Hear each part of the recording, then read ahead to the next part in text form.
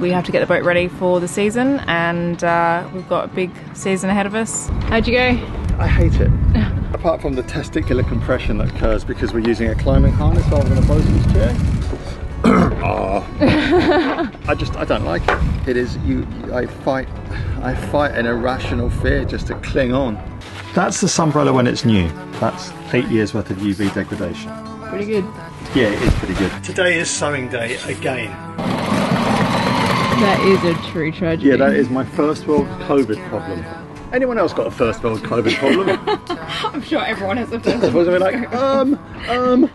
I can't get diamonds so tough, and I'm gonna take you traveling the world. But I can love you. Yeah, I'm gonna love you.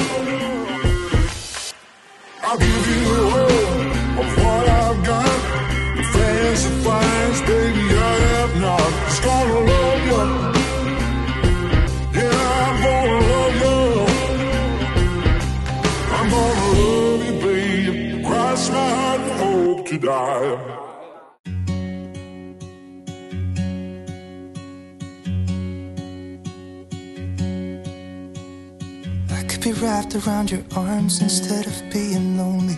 We could be gazing at the stars, but now it feels just like I wandered off into a room and closed the door behind me.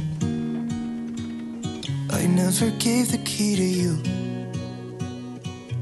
even though I wanted to. Today, um, Nick is going up the mast, which I think it's fair to say is his least favourite job on the boat After the jump. after the jobs go. Yeah, I was just about to say the the toilet situation comes in first, actually. Don't get me started on jabs go. But um, yeah, up the mask, mask, mast. I've got masks on the brain. Up the mast, he needs to go. Yeah, what do you need to do up there? You need to check the rigging, and also the, uh, there's a problem with the anemometer, isn't there? Look, the problem with the anemometer is that it fell, that it blew off, blew away in a storm. Okay, so we don't, we don't have an anemometer. Yeah, because I feel like I went up there once to do something to do with that. Yeah, they, they blow away every now and then. What I usually do, the way that we usually do this, is that um, Nick attaches himself to the main halyard, and because it is, um, it comes back to this, um, no, that that power winch there. and so yeah, all I need to do is press a button, and it gets sent up the mast. It's a nice little nifty system. You ready? Yeah, just take me just a foot up, yeah.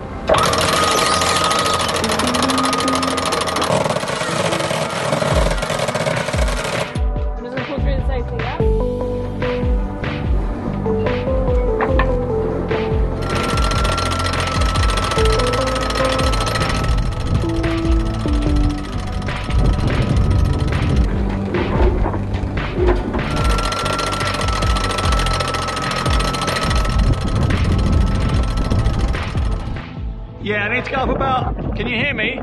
About. I'll, I'll, I'll yell when to stop.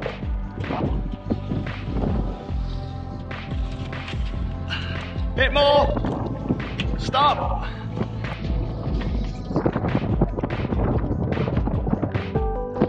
Therese, I need you to let off about six inches. Stop.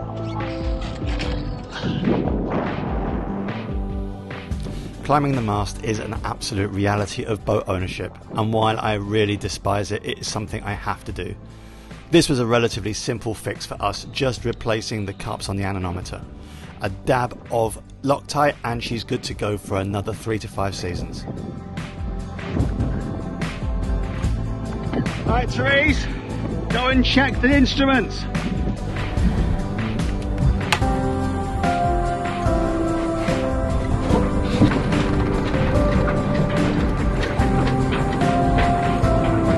The wind is working. Okay. You ready? However, there's a lot to check when you're up there, and while I'm swinging 20 metres off the ground, I might as well check a few other bits. All right, stop there. A rig check for us is fairly simple. There's a visual inspection of all moving parts, making sure all your split pins are in place, that all the parts of the mast are intact. Also, we check the rigging. You feel it with your thumb and forefinger just to feel for any bulges where you may have a broken wire. Alright, down. It takes about an hour, but is worthwhile and gives us peace of mind when we're sailing offshore. I think the safety's about to get taut. Okay. Right, pull it through. And while I'm up there, I get to enjoy the view and obviously not look down because I'm scared of heights. Ready?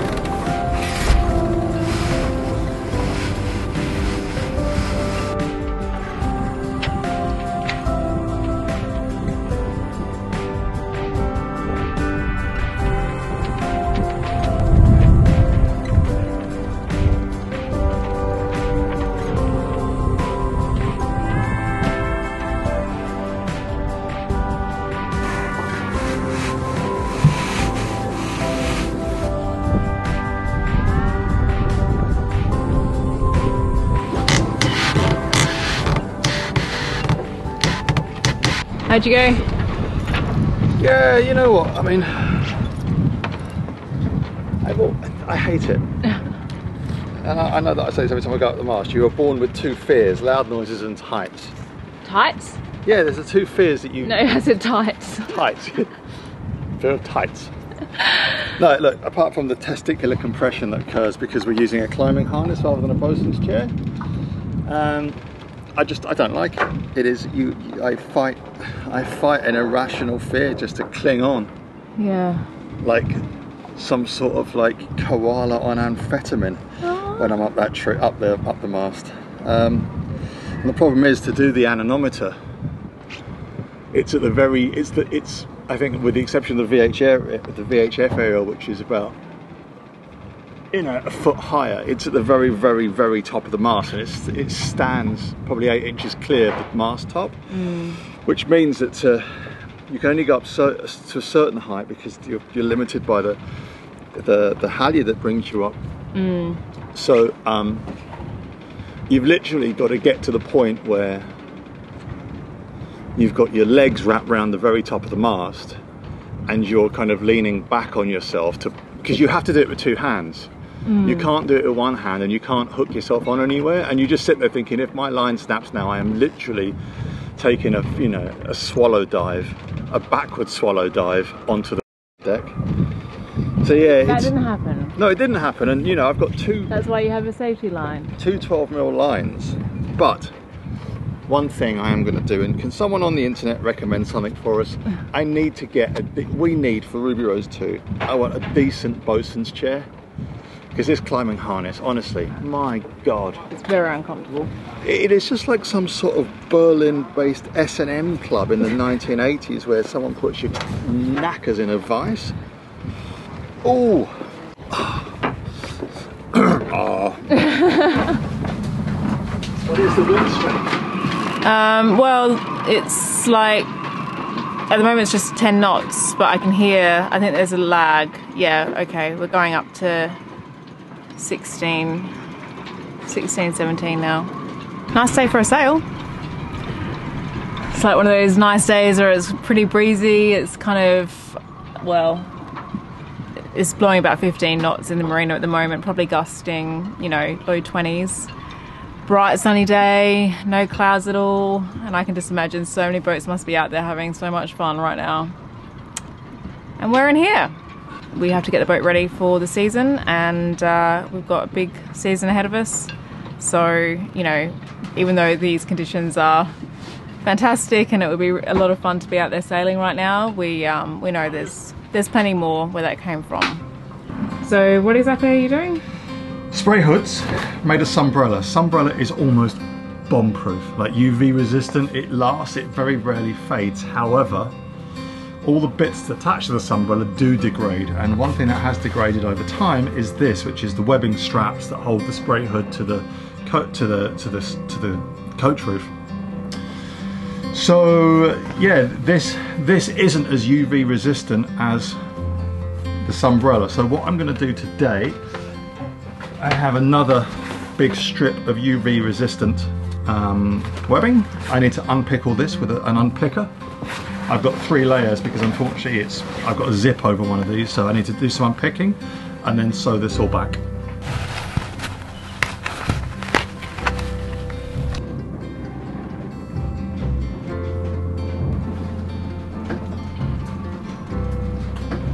I think it's jobs like this aren't particularly difficult to do if you've got the right equipment. Mm-hmm. Because the sunbrella, look at the sunbrella. I know. This is Perfect. It's like yeah. brand new. So the Sunbrella's pristine, but everything else is uh, just screwed. It's actually really crazy how well that umbrella holds up. It's just insane. Like, how old is that spray hood? So I'm going to show you some bits. So this, that's the sunbrella when it's new. So that's never been exposed to UV. Uh, just, just, Yeah. yeah. And then we'll, this is just verdigris, which will be scrubbed off. But if you compare this to that, that's eight years worth of UV degradation. Pretty good. Yeah, it is pretty good.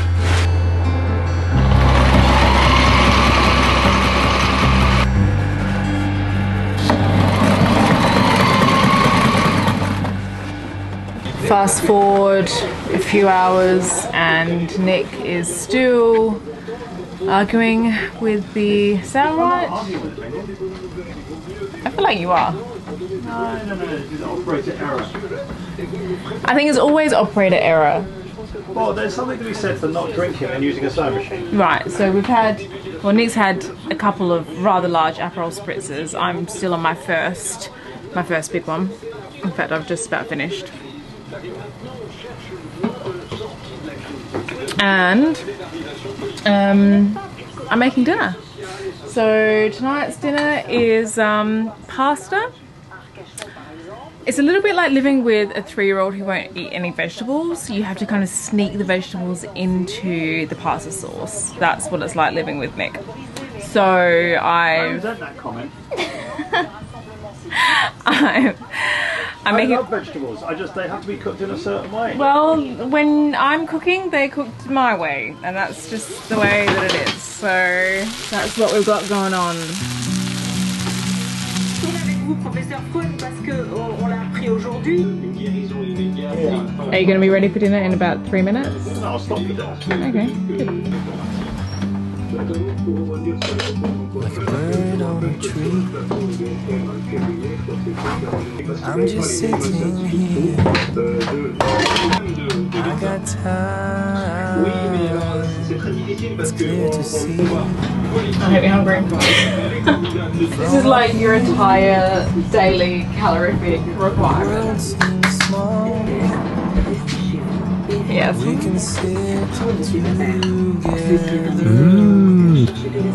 It's so beautiful.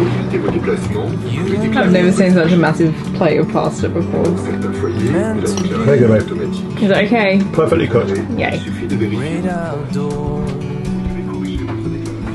Forever free.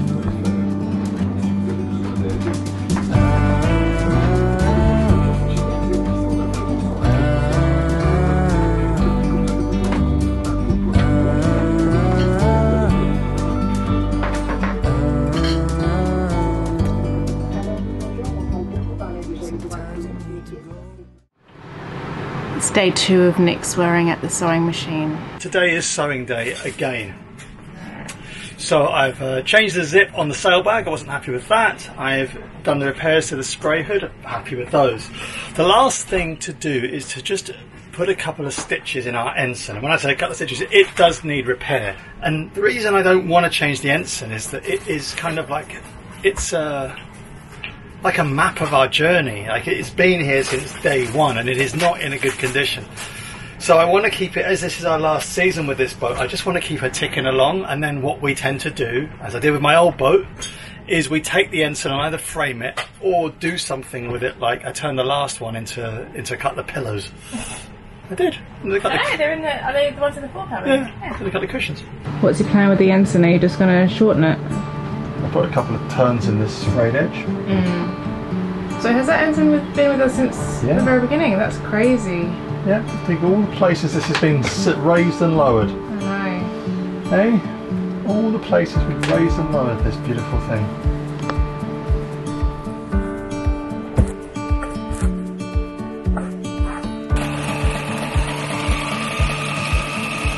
Look at that forecast. Sunshine every single day. So we are here in La Rochelle, and for now, well, as soon as we get out of the marina, we'll be going probably to Ile de Ré, which is just here, maybe Ile d'Oléron, which is here, and then as soon as we start actually kind of making any progress, we'll be aiming towards probably Sables d'Olonne, which is there. How far away is Sables d'Olonne? It's only 30 miles, I think. Yeah, Not far. not far. If only we could leave over the next few days, we'd be getting like an insane beam reach all the way up to Sables d'Olonne. So it's Monday. Yes, it's Monday. And towards the end of the week, the French Prime Minister or President or someone who's making all the announcement these days. They actually have a Prime Minister and a President in France. I think it's one of the Teletubbies. anyway, someone is making an announcement towards the end of the week, apparently, on what the next phase is of um, kind of the easing of restrictions, deconfinement, they call it. And it's kind of widely speculated that that will include opening up restaurants and bars and, you know, more people can get together and that kind of thing. But what we are hoping for is that we are allowed to travel uh, further distances. So right now, uh, everyone in France is allowed to travel 100 kilometers away from their main residence, but no further. So we have interpreted that to mean, and we've kind of had confirmation from the marina, the staff at the marina, that we can sail within 100 kilometers of here. And what's that in mi in in miles? Is that 59? 66, I think, 65 miles. We haven't. I don't know. I'll work it out and I'll put it on the screen. I don't know how how many miles away that is. So yeah, we could we could sail, you know, to the nearby islands. The islands just out here. They're only a few miles away and they're beautiful, and we're definitely going to do that. But we would like to have some confidence when we leave the marina that we will be able to continue um, going north because what we don't want is to leave La Rochelle Marina and then have to turn around and come back. To say that we're excited to set off and get underway and go sailing again and be at anchor and go explore it's an understatement. We're desperate. Cheers, my love.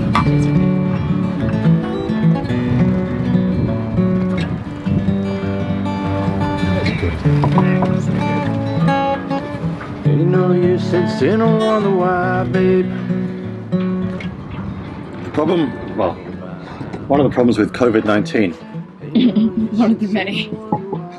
apart from the death, the, the complete destruction of the economy, families being torn apart, people being unable to travel, is the amount of hand sanitizer that I've had to use and how it destroys my fingernails. And I can't grow my fingernails because of that, because they keep cracking.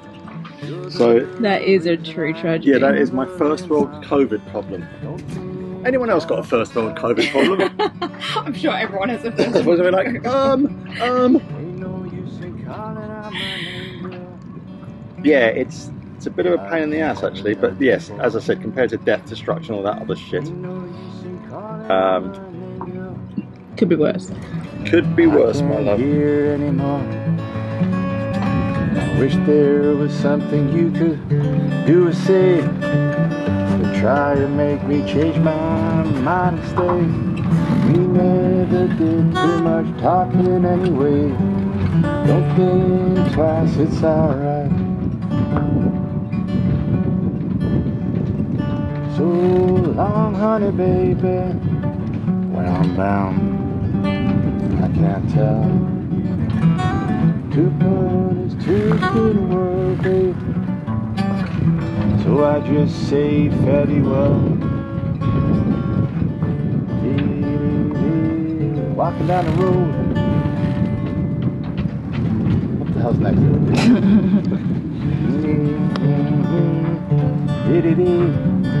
Once loved a woman, a child I am told. I give her my heart and she wanted my soul. Don't think twice, it's alright.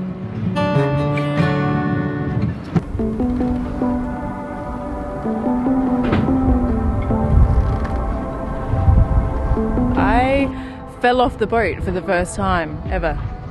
Just fell off. Cheers, my love. they are scrapping the rule where you have to stay within 100 kilometers of your primary residence. So we are free to cruise around uh, wherever we want to go along the French coast, and that is such a relief to us. So that means that hopefully we can get going, get back to cruising. I know that we both want that very, very much. If you haven't already done so, please consider joining us on Patreon. In addition to early access to all our videos, there's a Patreon Facebook group, chat with us on our WhatsApp group, get Patreon only videos and live streams, and we also have a whole lot of Ruby Rose 2 news, crewing, and meetup opportunities.